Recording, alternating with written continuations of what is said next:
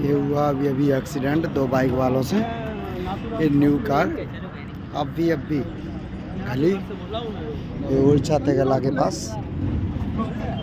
देखिए कंडीशन गाड़ी।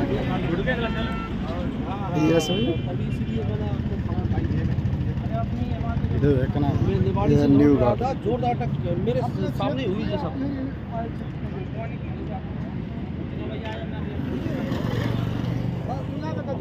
आप देख लो। हाँ रवि।